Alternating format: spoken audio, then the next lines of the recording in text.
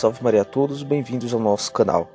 Um vídeo muito errado anda sendo compartilhado pela internet de um padre. Ele diz que acha uma injustiça pessoas que não estão em estado de graça, ou seja, que não confessaram e estão em pecado mortal, comungarem, fazendo um convite ao sacrilégio realmente. Proibir quem não está em estado de graça de comungar não é prender ninguém, não é errar, senhor Padre Frei, e sim fazer uma caridade. Está errado. O catecismo mesmo diz: não é nenhum moralismo pífio, é a lei de Deus. Tem que ser seguida. É o seguinte: o catecismo da igreja, nosso Senhor Jesus Cristo mesmo diz que para o receber precisa estar puro de coração. O sacramento da penitência foi posto para isso mesmo, para a reconciliação. Isto é você ir contra mesmo até seu sacerdócio. Danoso aos fiéis, danoso à sua alma, Senhor Padre. E antes que venham pessoas dizer que estou afrontando, não, estou exortando com caridade e todos podemos fazer, claro, se temos um bom coração para o ajudar. A finalidade é sempre esta. Vemos mesmo no nosso catecismo, catecismo da Igreja Católica, nos parágrafos 1420 a 1532, sobre a confissão, a importância dela, o porquê ela se faz necessário para aqueles que são católicos, para aqueles que se, que se convertem de verdade. Não é um simples capricho, é um sacramento, assim como também a Sagrada Eucaristia é um sacramento.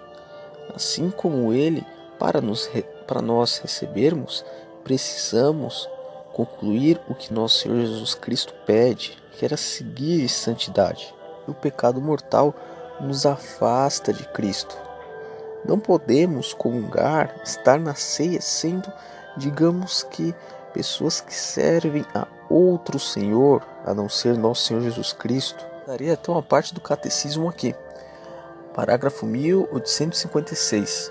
O pecado mortal, atacando em nós o princípio vital que é a caridade, exige uma nova iniciativa de misericórdia de Deus e uma conversão do coração, que se realiza normalmente no sacramento da reconciliação. Já no parágrafo 1857, para que um pecado seja mortal, requerem três condições ao mesmo tempo. É pecado mortal todo pecado que tem como objeto uma matéria grave e que é cometido com plena consciência e deliberadamente. E no parágrafo 1858, a matéria grave é precisada pelos dez mandamentos, segundo a resposta de Jesus ao jovem rico.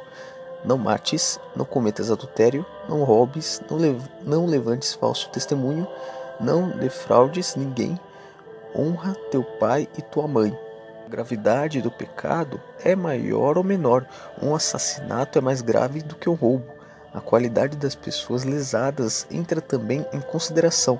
A violência exercida contra os pais é em si mais grave do que contra um estrangeiro. E aqui friso por último, no parágrafo 1861, o pecado mortal é a possibilidade radical da liberdade humana, como o próprio amor, carreta a perda da caridade e a privação da graça santificante, isto é, o estado de graça.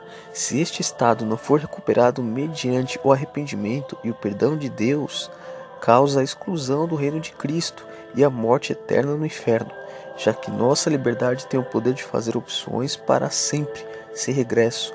No entanto, mesmo podendo julgar que um ato é em si falta grave, devemos confiar o julgamento sobre as pessoas, a justiça e a misericórdia de Deus. Vemos que pecado mortal nos afasta do reino de Deus nos afasta da santa comunhão, nos afasta de termos a salvação.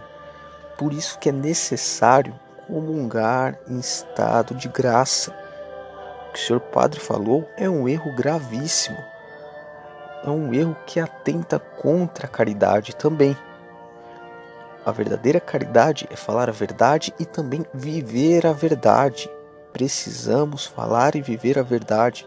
Precisamos fazer que nossos leigos entendam o que é santidade e buscar ser santos. Fazendo tal discurso, tal discurso humanista, faz-se pensar que a igreja e até mesmo que os preceitos de Deus são bagunça. Vigie mais, Padre, no que o Senhor fala e busque também ver o catecismo. Busque também bem orientar os seus fiéis, se queres, fiéis piedosos, devotos a Nossa Senhora, Nosso Senhor Jesus Cristo e também caridosos com os irmãos, precisamos fazer eles entender o estado de graça. Quem não está em estado de graça não pode comungar. Simples fato. Comentários deixarei a linkagem, o catecismo e outras partes para estudo de todos. Deus abençoe a todos, Maria sempre.